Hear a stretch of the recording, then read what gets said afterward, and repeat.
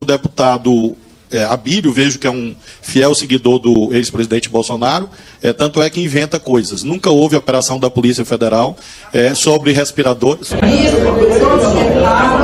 E declaro encerrada a presente reunião. Está encerrada e agora vamos simplesmente manter aqui para a ordem do dia. Olha só, o site Diário do Poder fala o seguinte: TCE do Maranhão enrola a análise dos escândalos milionários dos respiradores. O governo Flávio Dino torrou 9,3 milhões para comprar respiradores que jamais foram entregues.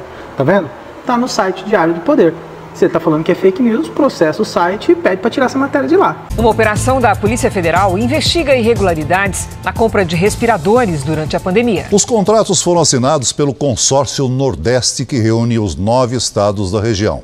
300 equipamentos nunca foram entregues. Consideramos que o consórcio Nordeste é mais um instrumento de desenvolvimento para o nosso estado, para o estado do Maranhão e para o Brasil. A minha fala foi com base em matérias da internet. Agora, se essas matérias da internet são fake news, por que, que o Flávio Dino não processou esses sites para tirar essas matérias? Poderia processar.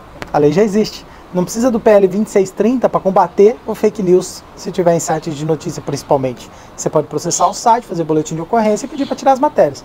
Mas até na data de hoje, essas matérias estão lá.